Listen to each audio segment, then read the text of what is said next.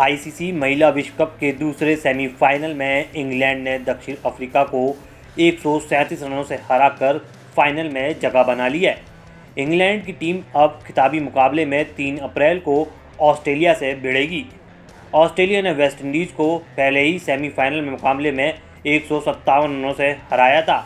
England ने आठवीं बार विश्व कप के फाइनल मुकाबले में जगह बनाई है। आपको बता दें, दक्षिण अफ्रीका के खिलाफ मुकाबले में इंग्लैंड ने पहले बल्लेबाजी करते हुए 50 ओवरों में आठ विकेट खोकर दो सौ तिरानवे रनों का बड़ा स्कोर खड़ा किया था। इंग्लैंड की तरफ़ से डैनी वाइट ने शतकीय पारी खेली। उन्होंने 125 गेंदों पर 12 चौके के साथ एक सौ उनतीस रन बनाए। हालाँकि इंग्लैंड का टॉप ऑर्डर दक्षिण अफ्रीका के सामने खास कमाल नहीं कर पाया, लेकिन डैनी और सोफिया डंकली की पारियों ने इंग्लैंड को दो सौ तिरानवे तक पहुँचा दिया। जानकारी के लिए बता दें, इंग्लैंड की टीम ने लगातार पाँच जीत दर्ज की हैं, जबकि शुरुआती तीन हार के बाद उस पर टूर्नामेंट से बाहर होने का खतरा मंडरा रहा था। अब टीम पाँचवा खिताब अपने नाम करने की कोशिश करेगी।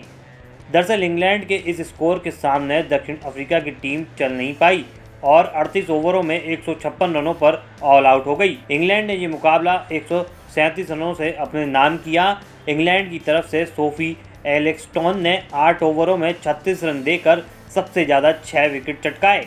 आपको अब कुछ आंकड़ों के बारे में बता दें। ऑस्ट्रेलिया टीम महिला विश्व कप के फाइनल में नौवीं बार खेलने के लिए उतरेगी। ऑस्ट्रेलिया ने अब तक इस विश्व कप में एक भी मुकाबला नहीं हारा है। ऑस्ट्रेलिया को खिताब जीतने का प्रबल दावेदार भी माना जा रहा है। इंग्लैंड ने साल 2017 में भारत को हराकर विश्व कप की ट्रॉफी चौथी बार अपने नाम की थी। वहीं ऑस्ट्रेलिया ने साल 2013 में खेले गए विश्व कप में वेस्टइंडीज़ को हराकर अपना छठा खिताब जीता था।